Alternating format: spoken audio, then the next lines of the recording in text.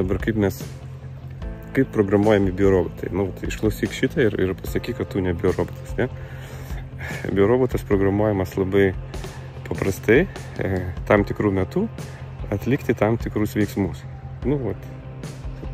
Ir, ir programavimas yra, nu, ten daug sudėtingesnis, bet maždaug, aš pasakysiu, trijų lygių programavimas, kuris skamba sekančiai. Tai visų pirma, informacijos patikimas į, į tavo aplinką. Tai kad tu matai tokią informaciją nuo gimimo. Nu, sakykime, per šventės reikia nuodyti. Antras etapas. Tai nu, žodį nuodai reikia pakeisti kitų pavadinimų. Nu, čia iš vis genialumas. Tai yra, kad 18 pavadino, ką reiškia, kad buvo nuodai nuodai visą gyvenimą, tačiau tau sukanka 18 metų. Aš žinau, ten prie tavęs prieina kalėdų senis ar burtų fėja ir tas nuodų butelis tampa nebe nuodais. Ok, super, suveikia, ne? Nu, tin, tin. Toliau ir trečias etapas, reikia pasirinkti du melus.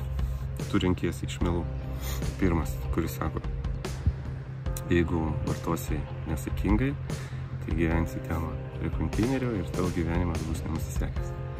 Ir tačiau tu gali rinktis saikingai. Ten per šventės, per savo gimtadienį, per naujus metus, kai tau liūdna, kai tau linksma, save nuodyti. Ir tu pasirinkai. Tu visą laiką pasirinksi antrą variantą. Ir dabar ties, kas yra biurobotas? Jis girdi skambančius varpus, arba dedamas lygštės ant stalo ir jis žino, kad jam reikia atlikti satanistinį ritualą. Tai yra susileisti demoną į save, tam, kad išstumti savo sielą.